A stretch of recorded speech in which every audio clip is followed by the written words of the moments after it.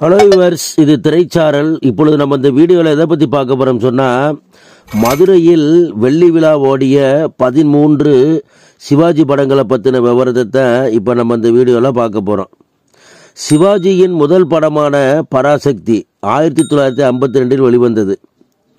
முதல் படமே சிவாஜிக்கு வெள்ளி விழா படமாக அமைந்தது. பராசக்தி படம் மதுரை தங்கம் தியேட்டரில் வெளியாகி நூற்றி பத்து நாட்கள் ஓடியது.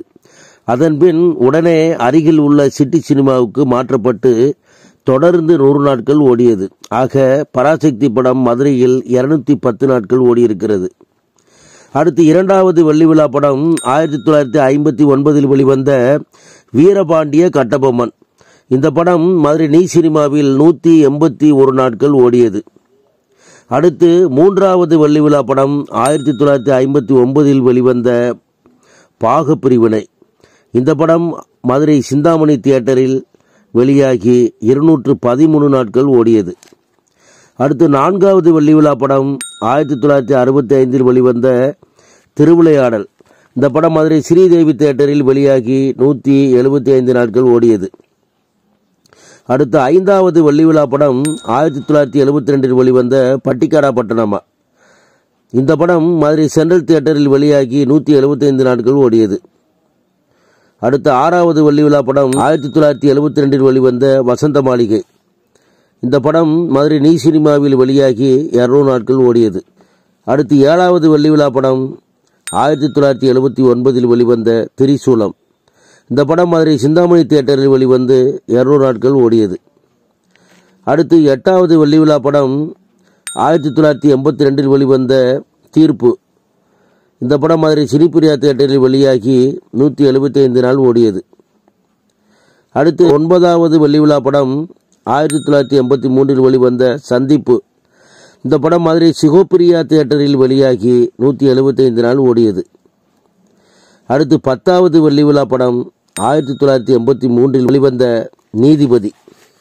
இந்த படம் மதுரை சினிப்பிரியா தியேட்டரில் வெளிவந்து நூற்றி எழுபத்தி ஐந்து நாட்கள் ஓடியது. இந்த பத்து படங்களும் சிவாஜி நடித்து மதுரையில் வெள்ளி விழா ஓடிய படங்களாகும். அதாவது சிவாஜி கதாநாயகனாக நடித்து வெள்ளி விழா ஓடிய படங்கள். மேலும் மற்ற நடிகர்களுடன் நடித்த மூன்று படங்கள் வெள்ளி விழா ஓடியிருக்கின்றன. அந்த படங்களை இப்பொழுது பார்ப்போம். ஆயிரத்தி தொள்ளாயிரத்தி எண்பத்தி ஐந்தில் வெளிவந்த படம் படிக்காதவன். ரஜினியுடன் நடித்த படம். இந்த படம் மதுரை சென்ட்ரல் தியேட்டரில் நூற்றி எழுபத்தைந்து நாட்கள் ஓடியது. அடுத்து ஆயிரத்தி தொள்ளாயிரத்தி தொண்ணூற்றி ரெண்டில் வெளிவந்த படம் தேவர் மகன். கமலுடன் நடித்த படம். இந்த படம் மதுரை மீனாட்சி தியேட்டரில் இருநூற்றி பதிமூணு நாட்கள் ஓடியது. அடுத்து ஆயிரத்தி தொள்ளாயிரத்தி தொண்ணூற்றி ஒன்பதில் வெளிவந்த படம் படையப்பா. ரஜினியுடன் நடித்த படம். இந்த படம் மதுரை அமிர்தம் தியேட்டரில் நூற்றி தொண்ணூறு நாட்கள் ஓடியது. ஆக மொத்தம் சிவாஜி நடித்து பதிமூணு படங்கள் மதுரையில் வெள்ளி விழா கொண்டாடியுள்ளன. மேலும் வெள்ளி விழாவை குறைந்த நாட்களில் தவறவிட்ட படங்கள். ஆயிரத்தி தொள்ளாயிரத்தி அறுபத்தி ஒன்றில் வெளியான பாசமலர் படம் மதுரை சிந்தாமணி தியேட்டரில் வெளியாகி நூற்றி அறுபத்தி ஒரு நாட்கள் ஓடியது.